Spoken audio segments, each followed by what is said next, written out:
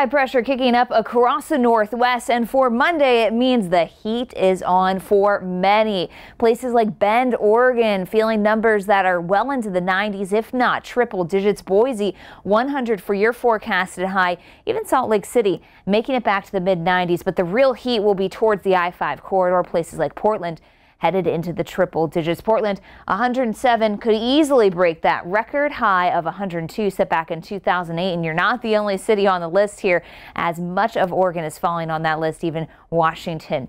So we go into Tuesday. No relief here. Not quite yet. Portland coming in at 103, 102 in Spokane, and 103 in Boise. So it is going to be very hot, even Helena in the upper 90s. Our relief comes later in the week, so it's going to be a hot one here. You can see Yakima, Washington. They're going to be in the triple digits right through Thursday. Some relief starting on Friday when we get back closer to historical average.